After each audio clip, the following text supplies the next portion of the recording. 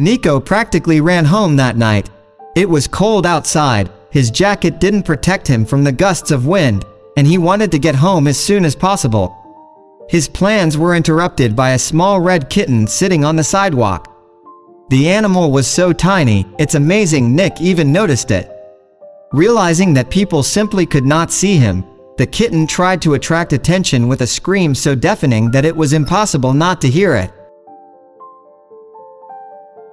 Nico couldn't leave the baby out in the cold, so he took it with him. The man hoped to warm and fatten the baby and then find it a new home.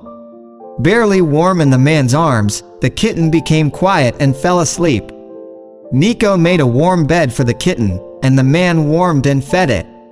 Watching the baby, the man began to doubt his decision to find it another home. The kitten was very cute and active, studying everything around him with interest, making friends not only with Nico but also with his dog. Literally after a few hours, the man realized that the kitten would stay in his house. The red-haired little guy grew surprisingly fast. By the time he was a year old, he was much bigger than cats his age.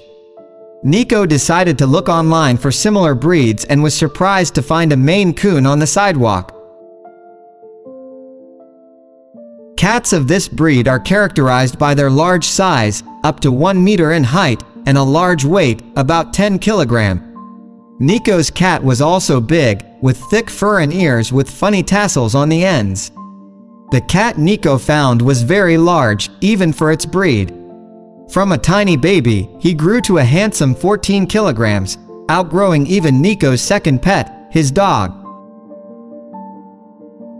When the man first met him, the kitten could fit in the palm of his hand, and now he has become a champion among Maine Coons in terms of size and weight. The cat has become a true master of the house, not only allowed to lie on the master's bed, but also to take a bath and walk freely around the house. Nico sees only one disadvantage in his pet he can only hold the cat for a very short time.